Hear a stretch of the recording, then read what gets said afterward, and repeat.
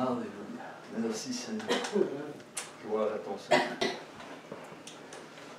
Oh Seigneur, que tu puisses bénir ta parole ce matin. Que tu puisses toucher nos cœurs ce matin, Seigneur Dieu.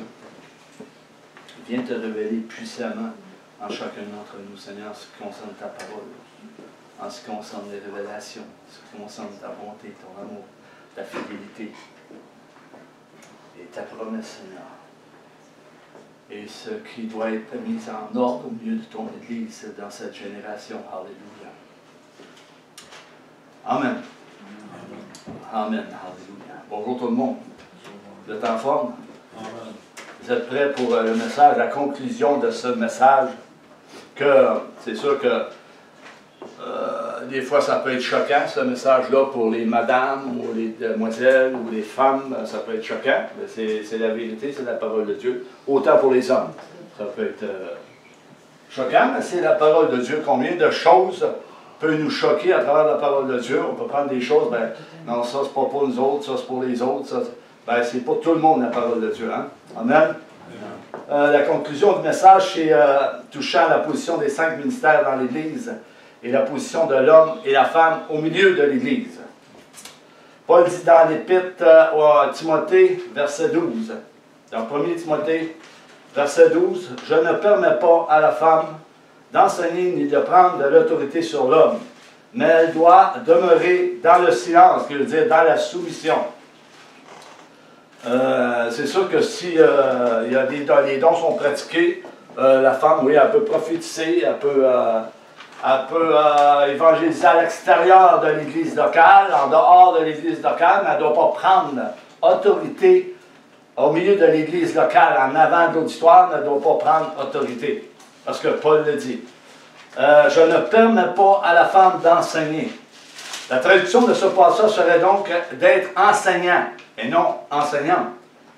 Il s'agit d'une fonction qui était officielle dans l'Église, une fonction officielle dans l'Église pour les enseignants.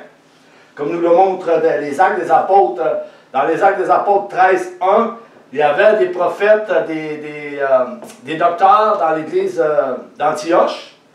Il y a eu la consécration de Barnabas et de Saul, qui, est appelé Paul, Saul de Tasse, et euh, bien d'autres, pour qu'ils prennent place à ces fonctions qui sont officielles dans l'Église. C'est des fonctions officielles dans l'Église. Les prophètes jouaient un rôle essentiel dans l'Église d'Antioche, dans l'Église apostolique, l'Église euh, prophétique. Ils prêchaient la parole de Dieu et étaient responsables de l'enseignement. ces, ministères sont responsables de l'enseignement dans les assemblées locales. Ils sont responsables, c'est des responsables.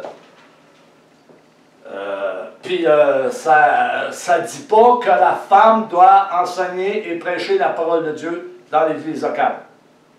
On va voir dans le message un peu plus loin. Comme l'apôtre Paul le confirme dans 1 Corinthiens 12, 28. Et Dieu a établi dans l'Église. J'ai pris euh, plusieurs versets pour, pour montrer euh, à cette génération de femmes qui prêchent euh, la parole de Dieu constamment, que ce soit sur euh, les réseaux sociaux, que ce soit sur Facebook, YouTube, peu importe, ils vont prendre tous les, moyens possibles pour prêcher la parole de Dieu, pour usurper la qualification des évêques que Dieu a placés au milieu de l'Église. Il n'a pas dit un évêque, il dit un évêque. Alors, Paul confirme dans 1 Corinthiens 12, 28, et Dieu a établi dans l'Église, premièrement, des apôtres, deuxièmement, des prophètes, troisièmement, des docteurs, ensuite ceux qui ont le don des miracles, puis ceux qui ont les dons de guérison, de gouverner, de parler diverses langues. Et on voit dans l'Église, en ce moment, dans cette génération-là, les dons, où sont les dons? Merci Seigneur, on a des dons ici dans l'Assemblée. Et, oui, il y en a dans certaines assemblées, mais on voit que ça s'éteint de plus en plus. Parce qu'ils prennent place à tout le, programme, des programmes d'ordre, des programmes charnels qui, euh, qui, passent par-dessus euh, l'autorité euh, de Christ. C'est complètement charnel. Et eux pensent c'est spirituel, ils pensent que même ils vont, ils vont, ils vont proclamer le feu, ils veulent avoir le feu, le feu du ciel. Je ne sais pas qu'est-ce qu'il demande là, mais le feu du ciel, le, feu, euh, Le feu euh, indique un jugement, plusieurs jugements de Dieu, le feu. Bon. Euh, c'est ça. Gouverner. Gouverner, de parler diverses langues. Le terme grec traduit par gouverner provient du verbe qui signifie piloter un navire. Euh, vous savez, un commandant de, navire, il y a quelqu'un qui va piloter le navire. Toutes euh, euh, les personnes vont, être sous la charge du gouverneur du bateau. C'est lui qui va donner les ordres, c'est lui qui va placer tout le monde pour que le bateau fonctionne bien et qu'il aille au bon port, qu'il se rende au bon port. Piloter un navire qui désigne aptitude à diriger ou capable, capable de diriger le ministère de l'Église locale avec efficacité. Bien, euh, ces gouverneurs ont perdu un peu, euh, si on parle de ceux qui gouvernent ou de ceux qui, euh, qui dirigent les assemblées de cette génération, ils ont perdu complètement le gouvernail spirituel. Parce que s'il n'aurait pas perdu, il y aurait plus de dons de pratiquer, puis les dons, ça a été donné pour euh, l'Église, pour le corps de Christ, pour qu'on puisse fonctionner tous ensemble, d'un commun accord uni avec Christ, d'un solide euh, attelage, d'un bâtiment solide, appuyé sur la pierre angulaire. Mais c'est pas ça qu'on voit dans cette génération-là. On peut voir des, gros, des grands orateurs qui vont apporter la parole de Dieu, vont dire toutes sortes de choses. Ils vont manifester, oui, ils vont manifester des dons et des, des, choses qui, euh, des dons qui ne sont pas nécessairement euh, de Dieu, mais sous l'influence de la sorcellerie et de la manipulation spirituelle, du contrôle spirituel, etc., etc. Parce que quand Dieu fait quelque chose, quand Dieu agit sur une personne, il y a quelque chose qui se passe. Mais moi, suis à 30 ans, je, suis au Seigneur, j'ai vu des personnes, je prends un exemple, ils vont tomber à terre, puis il n'y a rien qui se passe. Il faut qu'il se passe quelque chose. C'est un témoignage vivant que lorsque j'ai tombé à terre, j'ai volé à peu près, moi je ne sais pas, une quinzaine, une vingtaine de pieds, puis il s'est produit quelque chose. Il s'est produit quelque chose dans ma vie. Dieu m'a parlé. Il avait affaire à me parler. Puis Dieu veut parler à son Église. Dieu veut bénir son Église. Dieu veut donner ses dons, mais on les refuse ou on les éteint, les dons. C'est les hommes qui éteignent les dons par intimidité, intimidation. Intimidation. Hein? Ils sont intimidés par les hommes de Dieu. On en connaît, il y en a qui sont tellement froids qu'ils t'éteignent d'un raide. Ils ne sont pas euh, bien séants, ils ne sont pas bienvenus. Euh, c'est moi le boss, c'est moi qui décide, puis euh, c'est comme ça. Hein? Ça, c'est malheureux ont perdu totalement leur gouvernement spirituel. L'Église est tombée malade. L'Église est malade. Il faut qu'elle soit guérie. Et par qui? Il faut qu'elle soit guérie, l'Église Par Jésus-Christ, par le Saint-Esprit. Sans l'Esprit de Dieu au milieu de l'Église, il ne se passera rien. Beaucoup parlent de réveil. Beaucoup parlent de, pardon. Beaucoup parlent de, grâce. Beaucoup parlent de de sanctification, beaucoup parlent de, de, se rapprocher de Dieu. Et aussitôt que ces choses sont mises en lumière, aussitôt que le Saint-Esprit prend place dans l'assemblée locale, là on dirait qu'il y a quelque chose qui se passe dans, dans, l'esprit des hommes de Dieu. Oh, oh là, il ne faut pas aller trop loin. Il faut faire attention. J'ai compris dans le passé qu'il s'est produit beaucoup de choses. J'étais pas là en ce moment-là. Il faut avoir le discernement des esprits dans cette génération. Comme les apôtres avaient le discernement des esprits. Amen. L'apôtre dira ceci dans les lettres aux Éphésiens pour montrer comment l'Église doit être conforme à ce qui est écrit de la main, par la main des apôtres et des prophètes. Ils ont tout écrit, eux autres. Les apôtres et les prophètes ont tout, euh, ont tout écrit. Éphésiens 2, 20, 22. Vous êtes devenus la maison qui a pour fondation les apôtres et les prophètes.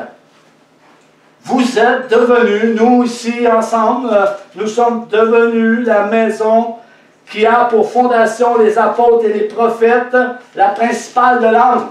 C'est le Christ Jésus lui-même. C'est une union avec le Christ que toutes les pierres de la maison tiennent ensemble. Et cette maison s'agrandit pour former un temple saint dans le Seigneur. 22. C'est en union avec le Christ que vous aussi, vous faites partie de la maison qui est construite. Et vous formez avec toutes les autres un lieu où Dieu habite par son esprit. Si l'esprit de Dieu n'est pas là, il n'y a rien qui est bâti solidement sur la pierre angulaire, la parole me le dit. Jésus-Christ est le centre du temple de Dieu, en esprit et en vérité. Et finalement, le contexte qu'on connaît tous, Éphésiens 4, 11, l'apôtre Paul dit, il a donné les uns comme apôtres, les autres comme prophètes, les autres comme évangélistes, les autres comme pasteurs, docteurs. Pourquoi Dieu a donné ces dons d'hommes à l'Église? Pourquoi Dieu a donné ces dons? Il y avait un but, le Seigneur, pour donner des dons à l'Église. Pour que l'Église fonctionne comme faux, là. Mais en ce moment, elle ne fonctionne pas comme faux. Si on parle d'orgueil, autant la femme est orgueilleuse que, l'homme est orgueilleux. Hein? La femme est très orgueilleuse aussi. On voit que euh, elle veut usurper l'autorité de l'homme. Elle veut usurper l'autorité des hommes de Dieu dans l'Église. Elle veut tasser l'homme de Dieu pour prendre la place. Certes que la femme a, une intelligence comme l'homme a une, intelligence. Mais oui. Tu sais, euh, à forte raison, oui, elle serait capable de faire le travail du pasteur, mais Paul dit, il est clair, je ne permets pas à la femme d'enseigner et de prêcher la parole de Dieu. Mais pourquoi qu'ils font ça, les femmes? Ben pourquoi vous faites ça, les femmes? Je parle au réseau euh, du Facebook, là, euh, vous allez m'entendre, les réseaux sociaux, m'entendez? Je vous parle à vous, femmes. Madame, mademoiselle, allez pas à l'école biblique pour pouvoir prêcher la parole de Dieu. Regardez ce que Paul dit dans les épîtres par rapport à la femme, ce qu'il dit dans Corinthe également, et dans d'autres, on peut sortir 100 euh, versets là-dessus. Jésus n'a jamais appelé une femme au ministère. Trouvez-moi à quelle part si Jésus a appelé une femme au ministère. Il n'a pas. Les apôtres non plus, lorsqu'ils ont été qualifiés pour euh, faire ce ministère, ils auraient pu choisir une femme, mais ils n'ont pas choisi. Pourquoi ils n'ont pas choisi? Parce que c'est l'ordre créationnel de Dieu depuis la Genèse jusqu'à l'Apocalypse.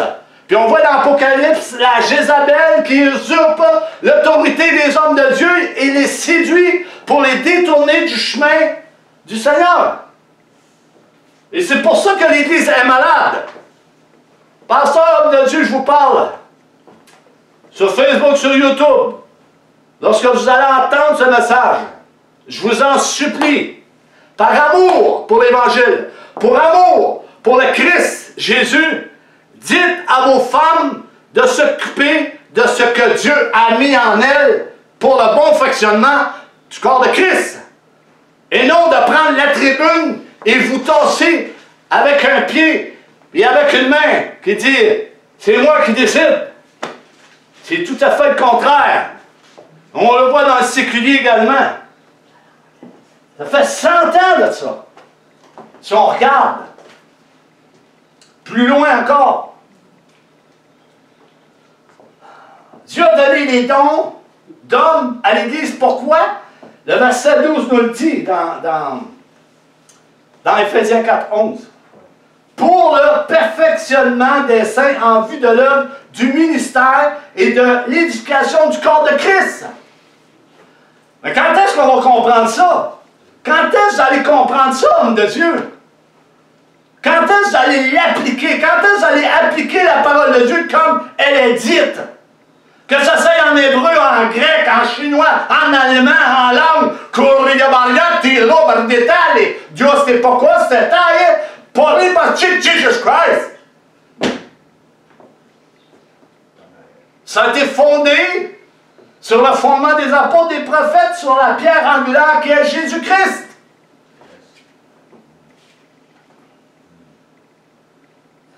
Si nous prenons un, un médecin ou un chirurgien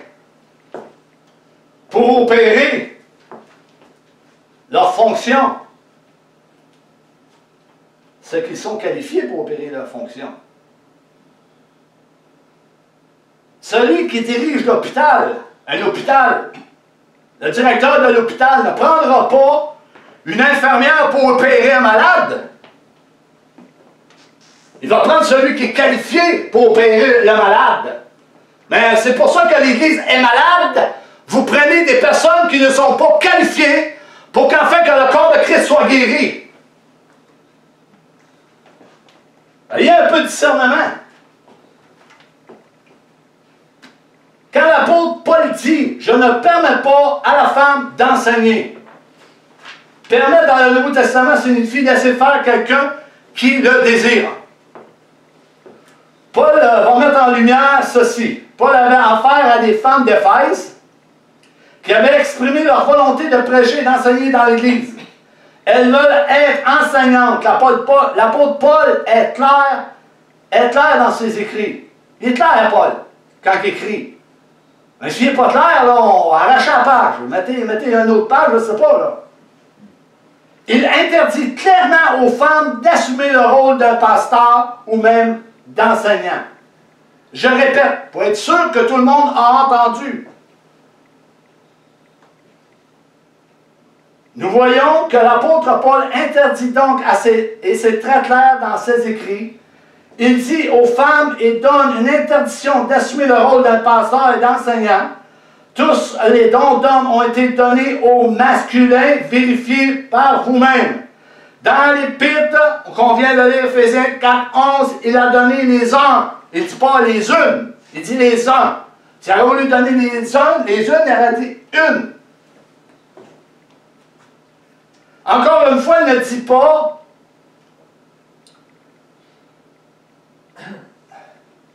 qu'il a établi des femmes. C'est un message qui est, dur à prendre. Qui va être dur à prendre, c'est sûr. Parce que depuis des années et des années, les hommes de Dieu laissent aller ces choses. Ils ont ouvert la porte à la femme pour qu'elle puisse enseigner. Ils ont fait des compromis. Soit la femme a-tu piqué une crise parce qu'elle ne voulait pas prêcher? A-tu pris un rouleau à la porte et dit Hey, laisse-moi prêcher un matin?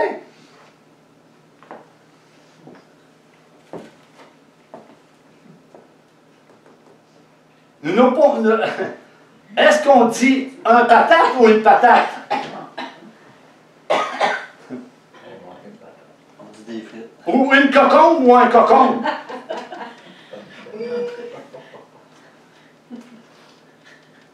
Nous ne pouvons pas dire non plus une pasteur.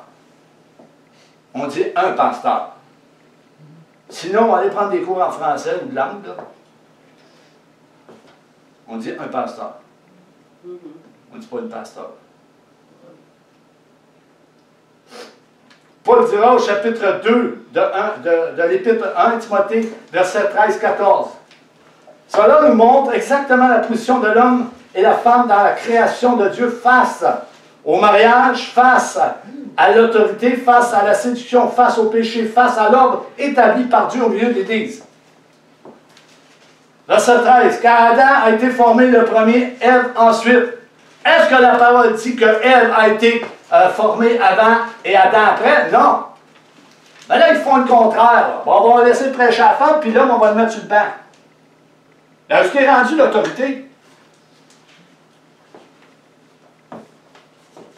Pourquoi les assemblées, les assemblées locales sont, sont, arrangées comme, comme, comme qu'ils sont présentement? Mais c'est à cause de ça.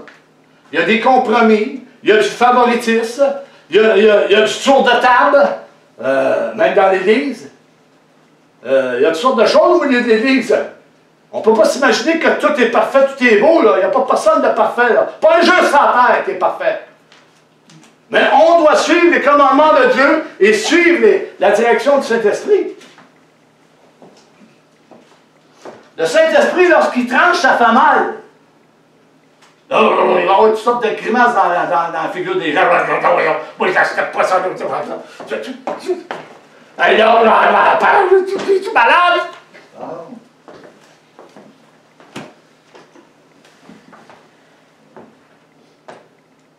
Adam n'a pas été séduit, mais la femme séduite s'est rendue coupable de transgression. Satan savait qui prendre. Il savait-tu ou il savait pas? Sinon, il aurait pris à Adam. Satan savait qui séduire. La femme. Pourquoi elle séduit la femme? Elle était pas sur ses gardes, quoi? Elle était sur quelle protection, la femme? Elle devait être sur la protection d'Adam.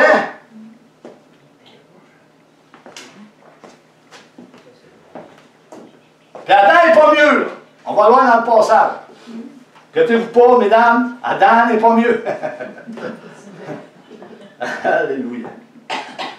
Plusieurs ont enseigné le contraire. C'est Ève qui a transgressé. euh, non, c'est ouais, c'est Ève qui a transgressé la loi de Dieu et plusieurs transgressent la loi de. C'est Adam qui a transgressé la loi de Dieu et plusieurs transgressent la loi de la grâce de Dieu et pratiquent le péché. C'est pas Adam qui a transgressé la loi, c'est Ève.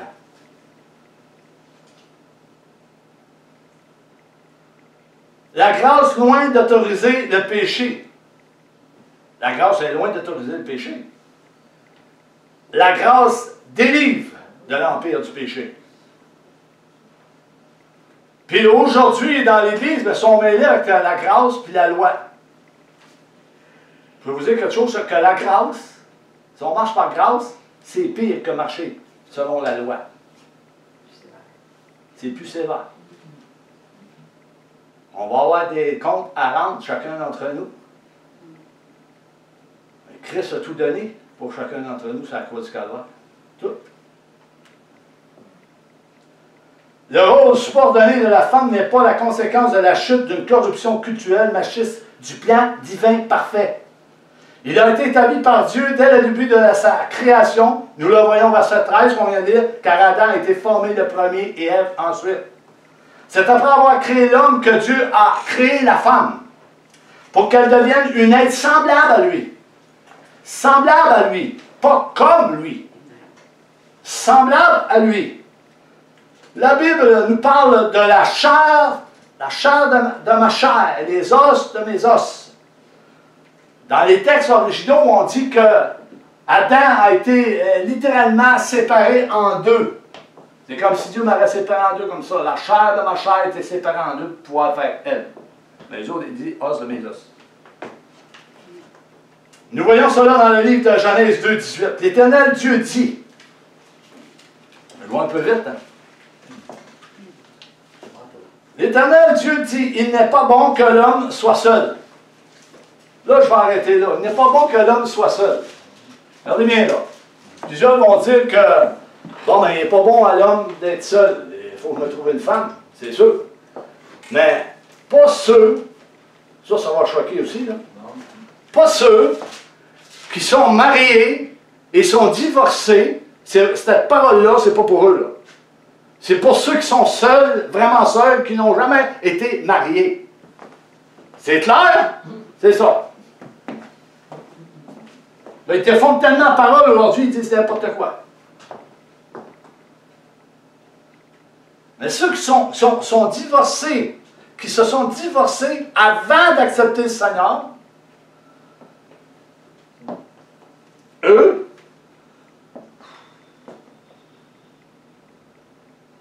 c'est pas pareil. Parce qu'il n'y avait aucune connaissance de la parole de Dieu. La parole de Dieu nous dit que nous, on était sans Dieu, ignorants, euh, étrangers de la parole de Dieu, euh, vivant comme qu'on voulait. C'est ça que la parole de Dieu dit. Pour eux, c'est.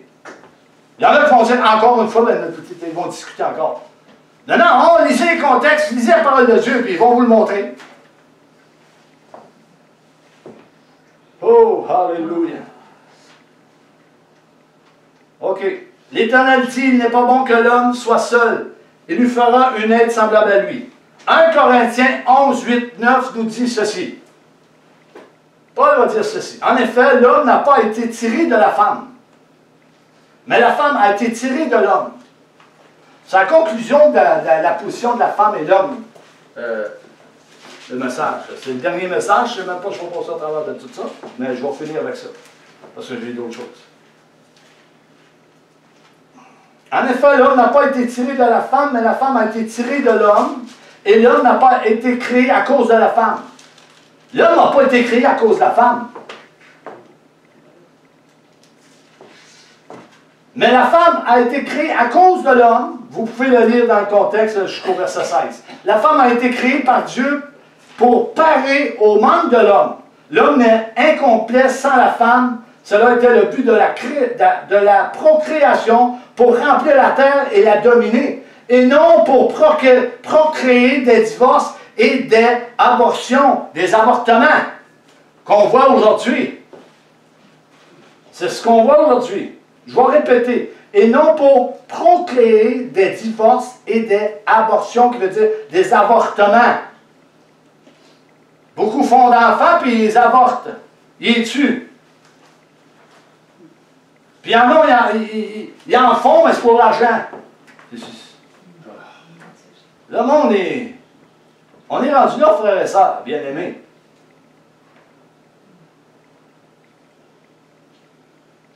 Isaïe le dit dans 5, 20. Isaïe va dire malheur à ceux qui appellent le mal bien et le bien mal. Pour eux, euh, un avortement, c'est bien. Pour eux, divorcer, c'est bien aussi.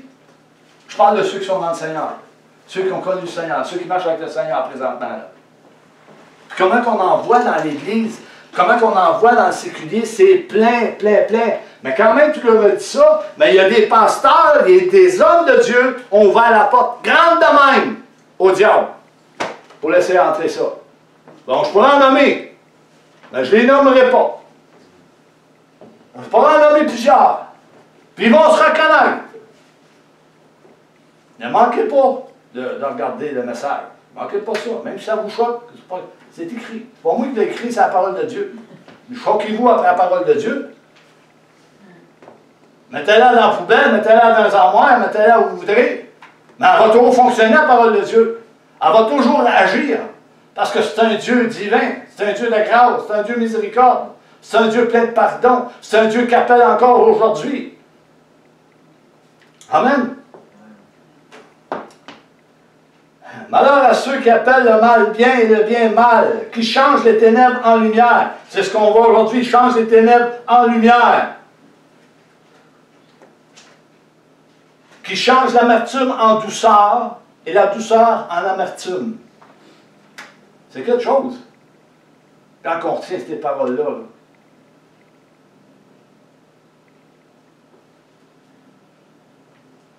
La chute corrobore donc le plan créationnel divin de Dieu, comme on peut le voir dans le livre de la Genèse 3, 1 à 7. Prouve, confirme la chute confirme et prouve donc le plan créationnel divin de Dieu, comme on peut le voir dans le livre de la Genèse 3, 1 à 7.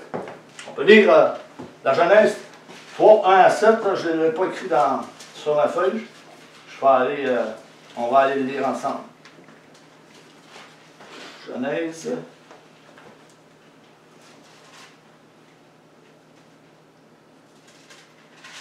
3, 1 7. Le serpent était le plus rusé de tous les animaux des champs que l'Éternel Dieu avait fait. Il dit à la femme, Dieu a-t-il réellement dit, vous ne mangerez pas de tous les arbres du jardin. La femme répondit au serpent, nous mangeons du fruit des arbres du jardin. Nous mangeons du fruit des arbres du jardin, mais quand au fruit de l'arbre qui est au milieu du jardin, Dieu a dit, vous n'en mangerez point et vous n'y toucherez point de peur que vous ne mouriez. Alors le serpent dit à la femme, vous ne mourrez pas, mais Dieu sait que le jour où vous en mangerez, vos yeux s'ouvriront, et que vous serez comme des dieux, connaissant le bien et le mal. La femme vit que l'arbre était bon à manger et agréable à la vue, et qu'il était précieux pour ouvrir l'intelligence. Elle prit de son fruit et en mangea. Elle en donna aussi à son mari, qui était auprès d'elle et il en mangea. Les yeux de l'un et de l'autre s'ouvrirent, ils connurent qu'ils étaient nus. Et ayant conçu des feuilles de figuier, ils s'en firent des ceintures. La chute corrobore donc, prouve et confirme donc le plan créationnel divin de Dieu, comme on peut le voir, qu'on vient, on vient de voir. Comme, euh, c'est comme un, fabricant d'automobile. Hein, un fabricant d'automobile, il crée une automobile à partir d'un plan créationnel, et ce plan est conforme à toutes les exigences que, selon l'ordre qu'il a reçu. Et là, quelqu'un arrive, sans même consulter le plan, et fabrique l'automobile. Il change quelque chose à partir d'un autre plan qui est tout à fait le contraire du plan créationnel du fabricant. Hein? Et fait chuter l'entreprise dans une chute, une chute complètement dévastatrice. Tout comme la chute d'Adam et Ève. Ce quelqu'un-là, ce quelqu'un qui a changé là, qui a changé le plan? De Dieu? C'est le diable. C'est Satan. Il a dit, fais cela. Fais ça comme ça. Puis combien de, fois dans notre vie, dans notre marche chrétienne, ça peut arriver que le serpent vienne nous euh, séduire ou tenter, dire, euh, ben non, fais pas ça comme ça. Ou dis pas ça comme ça, dis-le comme ça il faut vraiment que nous ayons l'esprit de la grâce en nous, sur nous, la plénitude de Christ sur nous et en nous. Faut. Il faut, sinon, euh, on va faire dur. Il faut s'approcher de Dieu, s'approcher de Dieu constamment. Il y a tellement de choses à dire à, travers la parole de Dieu, à travers les écrits. Et euh, il y a bien des écrits qui n'ont pas été écrits, qu'on ne sait pas. La parole de, Dieu le dit, hein, si euh, tout aurait été écrit, mais les bibliothèques n'auraient pas supporté euh, euh, toutes les écrits. On va peut-être avoir des petites surprises à la fin des temps. Peut-être des petites surprises, les hommes de Dieu vont avoir des petites surprises face à la parole de Dieu, face à le ministère, face à l'ordre qu'ils ont, placé au milieu de leur église locale. Euh, tous et chacun, va rendre Ah, Par nature, elle n'était pas destinée à assumer les plus hautes responsabilités en s'écartant de la protection d'Adam. Elle était sur la protection d'Adam, comme la femme est sur la protection de son mari, comme l'Église est sur la protection de son épouse, Christ en usurpant ainsi son rôle de responsable. Encore une fois, on voit, elle a usurpé l'autorité d'Adam. Oh, Adam, tu sais, toi, là, je vais... Là, prends-en donc. Prends-en, Adam. Ah oh, oui. Fais comme moi, Adam. Homme de Dieu, ta femme te dit, fais comme moi. Tu fais comme elle. Mais c'est pas ça, il faut que tu fasses l'ordre de Dieu. Il faut que tu fasses ce que Dieu te dit de faire. La femme est un complément dans le ministère. On en a besoin. Amen. Le serpent avait dit à la femme, vous ne mourrez pas. Qu'est-ce qu'on vient de dire? C'est là que Satan a vu l'ouverture de ses paroles par un mensonge. Il a entraîné elle dans une mort spirituelle, une séparation avec Dieu. Et combien d'enfants de Dieu peuvent être séparés de Dieu à cause de la désobéissance? À cause de ces choses. Vous savez, l'Église demande, euh, comme je disais tantôt, un réveil, des bénédictions, etc., mais ils ne sont pas en règle avec Dieu ne sont pas conformes à la parole de Dieu. font des compromis, font des favoritismes. C'est du favoritisme au milieu. Ah, toi, je vais prendre, toi, je ne le prendrai pas. Toi, tu as plus d'argent que lui, je vais prendre lui. Euh, c'est malheureux de voir ça. Mais il faut que quelqu'un le dise. Il faut que les hommes mettent les culottes parce qu'ils ont tout laissé tomber culottes à terre, ils se avec des jeux. Ils ont toutes des jupes comme les Écossais. Ben, allez-vous en Écosse.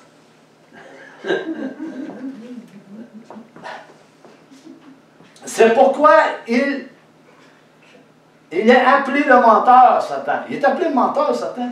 C'est un menteur. Il est un meurtrier dès le commencement. Satan va toujours mettre de grands avantages dans ses ruses et mensonges, comme le dit le livre de la Genèse 3, 5. Mais Dieu sait, qu'on a lu tantôt, que le jour où vous en mangerez, vos yeux vont s'ouvrir. Et que vous serez comme Dieu, connaissant le bien et le mal. Satan avait trompé Ève. Satan avait trompé Ève. Est-ce que, est que Dieu savait que Satan était pour tromper Ève? Il savait? Oui. Vous êtes sûr? Oui. Non, mais parce qu'il y en a qui peuvent dire le contraire. Ça ne pas.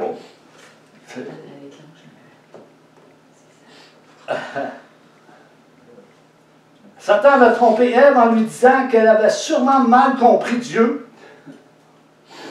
Hein? Elle avait mal compris Dieu? Le serpent avait séduit Ève. Verset 13 qu'on a, on a vu tantôt, le serpent avait séduit Ève. Non, dans, dans Genèse 3, 13. Pour ceux qui prennent des notes. Est-ce que Satan est en train de dire, euh, écoutez bien ce que je vais dire, est-ce que Satan est en train de dire à l'Église la même chose aujourd'hui? Est-ce que Satan est en train de séduire l'Église? Pour la détourner du chemin dans lequel a été appelée? Que nous avons tous mal compris les Écritures? Que tous et chacun ici, on a mal compris les Écritures concernant Adam et Ève? Ève a été formée le premier, puis Adam après, on a mal compris ça, là. Ils ont, inversé ça, là. Je ne sais pas quel livre il y a, là. Ils ont inversé le livre.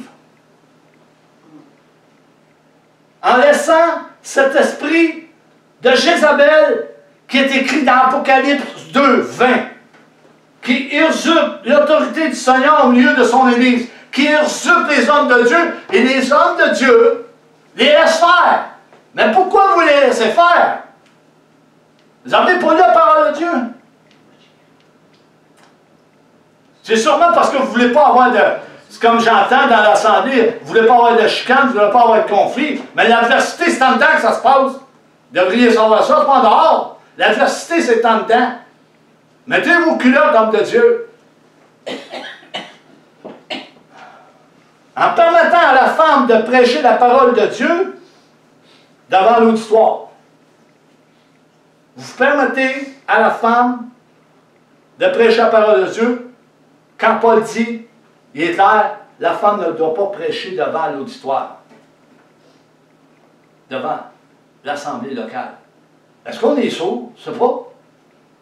C'est peut-être pour ça que dans l'Apocalypse, le Seigneur dit que celui qui a des oreilles entende ce que je dis à mon Église. Est-ce qu'on entend l'Esprit de Dieu nous parler à travers sa parole? C'est pas moi qui le dis, c'est la parole de Dieu qui le confirme. Est-ce qu'on entend, comme bien d'autres messages, le prophète Goulet a apporté beaucoup de messages. Est-ce qu'on entend les messages des hommes de Dieu qui tranchent, qui disent la vérité, qui dit pour le perfectionnement des saints? Est-ce qu'on les entend ou on les foule euh, du, du pied, on foule? Si on foule, on foule un homme de Dieu comme ça, c'est Christ que vous foulez au pied. Amen.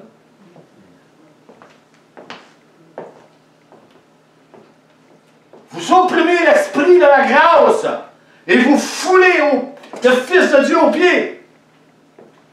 Bien plus grave que la loi, ça, frères et sœurs bien-aimés.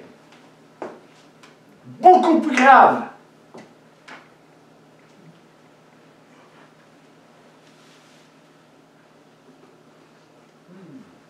Deux vingt. Apocalypse 2.20. Je vais lire. Je l'ai dit dans l'autre message.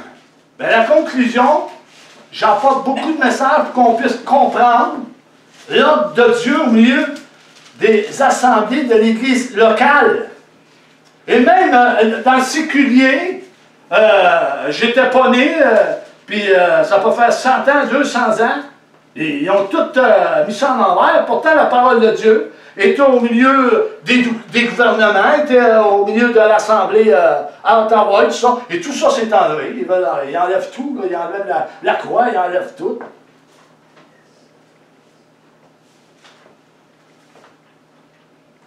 Oh, Jesus. Est-ce que vous êtes rendu? Oui. Apocalypse 2, 20. C'est ça, hein? C'est l'église, euh, c'est la quatrième église de Thyatire. Mais ce que j'ai contre toi, là, ça a quelque chose contre euh, cette église? Puis bien souvent, on peut se trouver dans cette église-là, Thyatire. Nous, on peut se trouver dans cette église-là. Si on laisse faire ça, mais on se trouve dans cette église-là. C'est que tu laisses la femme Jézabel qui se dit prophétesse. Ah, il y en a des prophétesses. Il y en a plein. C'est plein, il y en a plein, il y en a plein c'est effrayant, c'est plein. Enseigner et séduire mes serviteurs. Enseigner et séduire mes serviteurs. Il dit serviteurs. C'est au masculin, ça, les serviteurs? Ou bien c'est au, masculin, c'est au féminin? Féminin, c'est servante. C'est servante au féminin? Merci mon frère. Pour qu'il se livre à l'impudicité et qu'il mange des viandes sacrifiées aux idoles. Et le 21, je vais lire.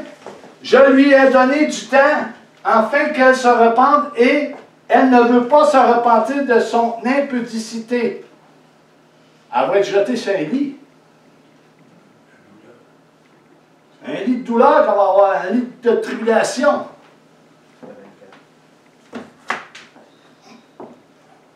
On va continuer. Elle est responsable. Elle, est, elle s'est rendue vulnérable et a chuté conformément de ce fait qu'il était important qu'elle demeure sous la protection et la direction de son mari. Je parle à tous les hommes aujourd'hui. Je parle à toutes les femmes aujourd'hui qui suivent le Seigneur, qui sont dans les assemblées et qui aiment le Seigneur de tout leur cœur. La femme est sous la protection de l'homme. Elle doit demeurer dans la protection de l'homme. La parole ne dit pas que la femme n'a plus le droit de rien faire, mais elle doit demeurer sous la protection de l'homme, de son mari. S'il y a quelque chose, qu'elle demande à son mari. C'est écrit, ça quelque part. Si elle veut savoir quelque chose, qu'elle demande à son mari. Je n'ai pas la référence, mais je sais que c'est écrit. 129. Alléluia. Attendez là, attendez. Pas juste la femme, attendez un petit peu. Adam non plus n'a pas assuré, assumé son rôle, puisqu'il a suivi Ève dans sa chute et a ainsi plongé toute la race humaine dans le péché. Adam, il a suivi la femme. Mais comment la femme peut être? Il faut que je fasse attention à ce que je vais dire. La femme est douce, euh, est accueillante. Hein? À bout. Ah, des fois. Oui, bien souvent, des fois, à bout, ben, c'est- l'homme autant peut bouder. Tout cela a été le résultat direct d'une violation des rôles attribués par Dieu à chacun des deux sexes. Puisqu'il a choisi de désobéir à Dieu. Ceux qui veulent prendre des notes, je ne lirai pas tous les passages parce que ça va être trop long. Romains 5, 12, 21 et 1 Corinthiens 15, 21, 22. Comment pouvons-nous fermer les yeux sur les commandements du Seigneur et sur sa souveraineté et autorité? Comment on peut se fermer les yeux là-dessus? Comment les, comment les hommes de Dieu qui ont été choisis au milieu du corps de Christ, comment ils peuvent se fermer les yeux sur ce que la parole de Dieu dit? Ben, S'ils s'ouvriraient les yeux un petit peu, ben, l'Église, fonctionnerait pas mal mieux qu'elle qu'elle fonctionne là, puis elle aurait plus euh, d'autorité et de puissance par le Saint-Esprit pour qu'elle puisse euh, se démarquer dans cette génération. Mais ce n'est pas réellement le cas, parce qu'ils font des compromis, puis on dirait qu'ils n'ont pas, le, femme, j'imagine, je sais pas. Il y a des rouleaux à pâte qui se promènent à quelque part. Je ne sais pas, là, mais... Si je ne parle pas aux brebis du Seigneur, mais bien, bien à ceux qui enseignent la parole de Dieu, aux dirigeants et pasteurs, et docteurs, évangélistes et prophètes de cette génération-là. Les brebis ont sûrement la responsabilité de vérifier aussi ce qu'ils entendent. Mais, mais, je ne suis pas certain que les brebis vérifient ce qu'ils entendent. Parce que s'ils vérifieraient, mais il y a quelques hommes de Dieu qui se feraient ramasser quelque part. J'en connais un qui en ramasse pas, pas mal, des hommes de Dieu. Je ne le nommerai pas, là. Ben, il dit la vérité. Voici dans la nouvelle dispensation de la grâce le rôle de la femme au sein du corps de Christ. La loi de Christ, les ordonnances de Dieu ont-elles été abolies concernant les rôles de l'homme et la femme? Est-ce que ça a été aboli? Non! Non, ça n'a pas été aboli.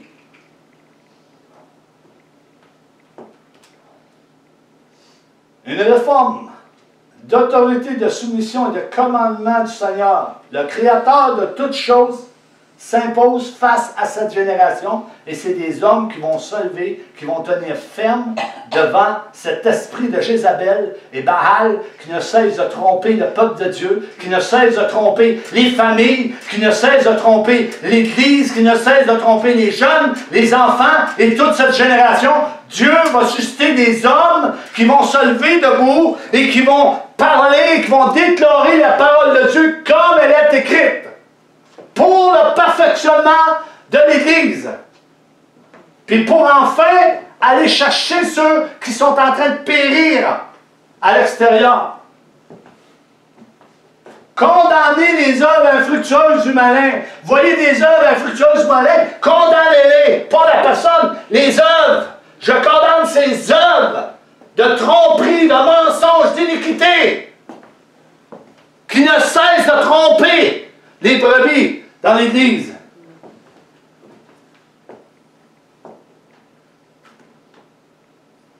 Une réforme apostolique et prophétique fondée sur de vrais ministères, les vrais apôtres et les vrais prophètes de Dieu. Ils vont, faire, ils vont faire ils font des prophètes des États-Unis. Fonder des apôtres des États-Unis. Ils ont assez peur de faire venir des, des prophètes euh, du Québec je les comprends. Ils vont tous dévoiler ce qu'ils font. J'en suis témoin moi-même. J'ai déjà dévoilé dans une église qu'est-ce qui se passait dans le leadership. Puis a l'occasion de le faire encore, je vais le faire. Si Dieu le permet, je vais le faire encore. Au prix de ma vie. Là, ils viennent d'entendre ça, pas passé un moment invité. Mais c'est Dieu qui décide, c'est pas moi qui décide toi un pseudonyme. oh.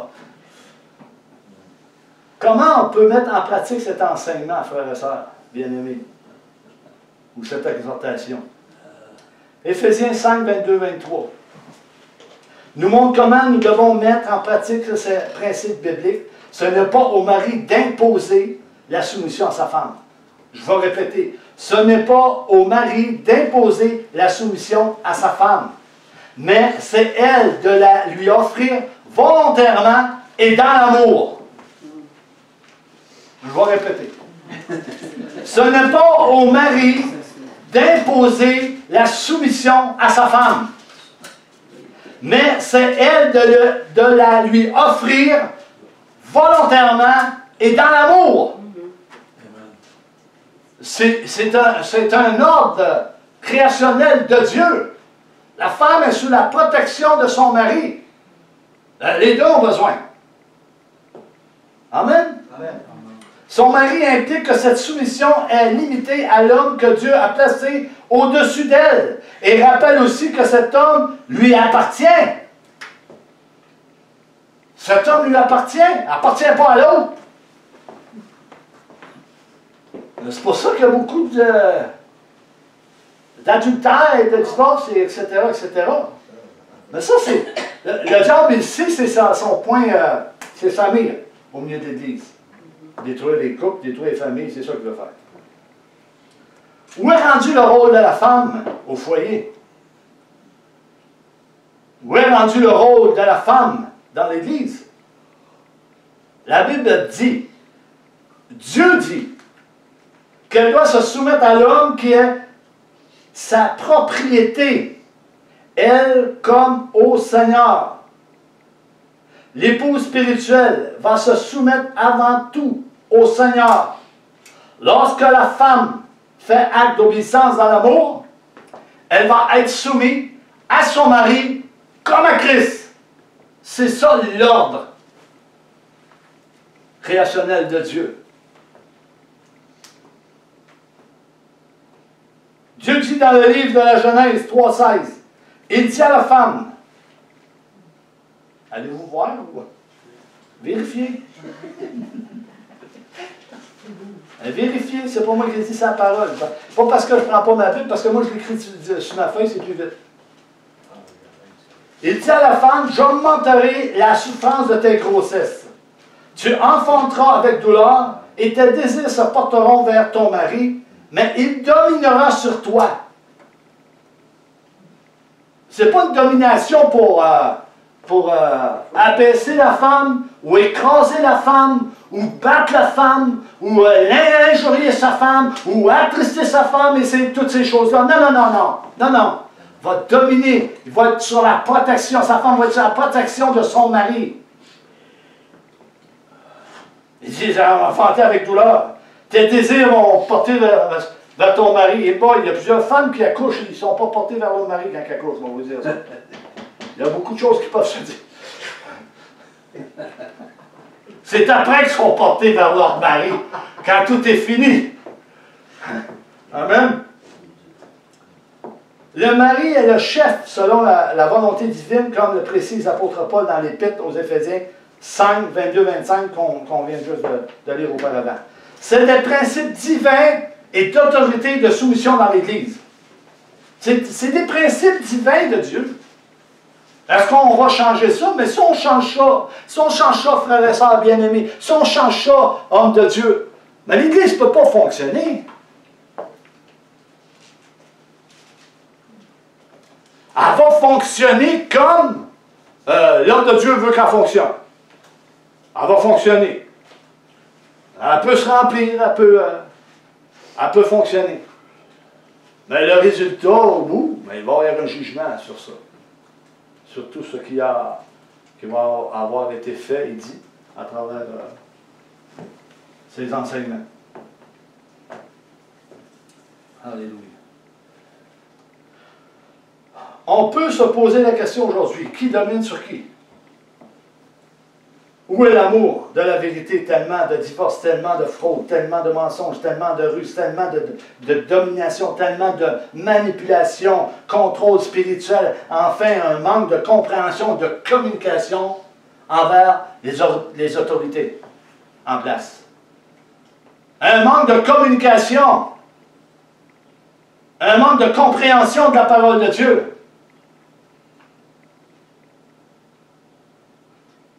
Retournons dans 1 Timothée 2, 15. 1 Timothée chapitre 2, 15. Paul dira à Timothée, il parle à la femme, elle sera néanmoins sauvée en devenant mère si elle persévère avec modestie dans la foi, dans l'amour et dans la sainteté. on sait très bien que nous avons été sauvés par grâce. Et la femme qui n'a pas d'enfant est sauvée.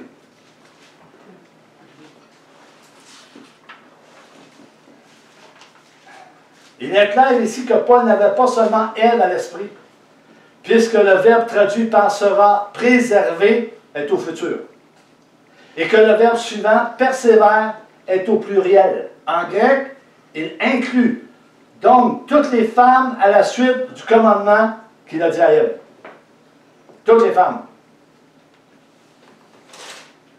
Ceux qui ne sont pas capables d'avoir d'enfants, ils sont, sont exemples. Parce qu'ils n'ont pas d'enfants qu'ils ne seront pas sauvés.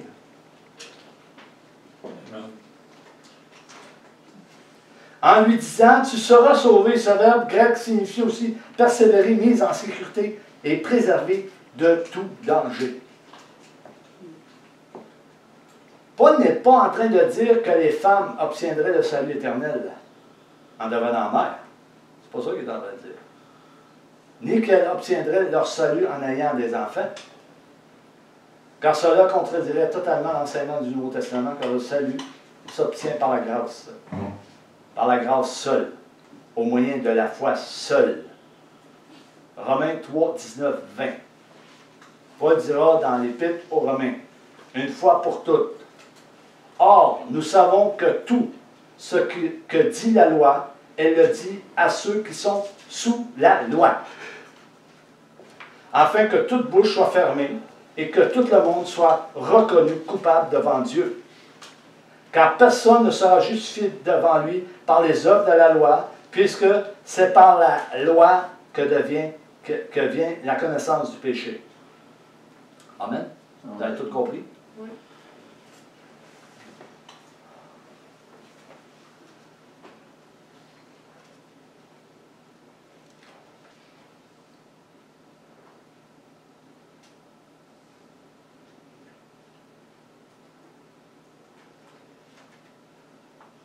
Non, c'est tout au des pages parce que. Je laisse, je laisse ça. Euh, on va terminer avec ça. La fonction des cinq onctions ou euh, d'autorité dans, dans- d'autorité dans l'Église. La position de l'homme et la femme dans l'Église. Euh, le verset de, de conclusion, Jacques 3.1. L'apôtre Jacques va donner un avertissement sur l'enseignement de personnes qui veulent enseigner.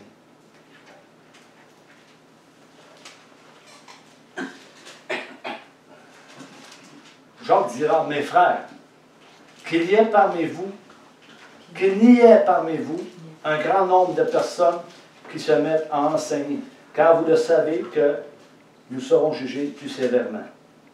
La Bible nous montre que celui qui aura pris ce rôle pour enseigner les autres sera jugé plus sévèrement. Jugé, il y aura un verdict lors du jugement qui est à venir. Il y a un jugement qui va se faire. Sur tous ceux qui enseignent la parole de Dieu. La parole de Dieu ne se trompe pas. Dieu, Dieu, il parle, il dit les choses, c'est écrit. Mais il faut, faut les appliquer. Euh, tous, nous passerons devant ce grand trou blanc. Le grand trou blanc va tout passer devant et que tout sera mis à la lumière par Christ qui est assis sur le trône. Le premier jugement qui sera défini en face des faux docteurs qui sont dépourvus de foi et cela se, se fera au moment où Jésus viendra et remettra tout à son Père dans Jude 14, 15. Dans Jude, pour, pour ceux qui prennent des notes, je ne le lirai pas. Le deuxième jugement sera en face, parce que le temps presse, il ne reste pas grand temps. Le deuxième jugement sera en face du croyant lorsqu'il recevra par Christ sa récompense face à sa marche. 1 Corinthiens 4, 3, 5, je vais le lire là. Pour moi, Paul dit, pour moi, il m'importe fort peu d'être jugé par vous ou par un tribunal humain. Je ne me juge pas non plus moi-même, car je ne me sens coupable de rien. Mais ce n'est pas pour cela que je suis justifié. Celui qui me juge, c'est le Seigneur. C'est pourquoi ne jugez de rien avant le temps, jusqu'à ce que vienne le Seigneur, qui mettra en lumière ce qui est caché dans les ténèbres, et qui manifestera les desseins des cœurs. Alors chacun recevra de Dieu la louange qui lui sera due. Alléluia. Ici, je ne veux pas décourager les authentiques enseignements, ceux qui, qui enseignent, les enseignants. Les véritables, ceux qui sont appelés par Dieu, ceux qui sont mis à part par Dieu pour enseigner la parole de Dieu, sous la direction du Saint-Esprit, sous la grâce, par amour pour Christ, dans la foi en Jésus-Christ, pour toute œuvre qui a été préparée d'avance pour l'avancement de l'Église.